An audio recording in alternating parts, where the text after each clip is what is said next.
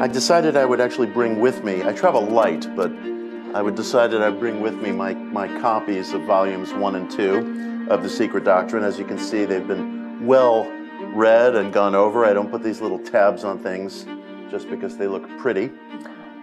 I put them because this book, uh, for me, as I'm sure for many of you in this room, is an ever growing catalog of ideas.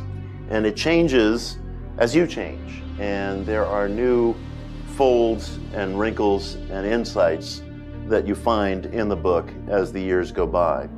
And I tend to travel very light going through this life. People ask me what style my apartment is decorated in, and I respond, Thoreau. I really have a very spare existence, but there are a handful of objects and books that I always keep and the secret doctrine is among them.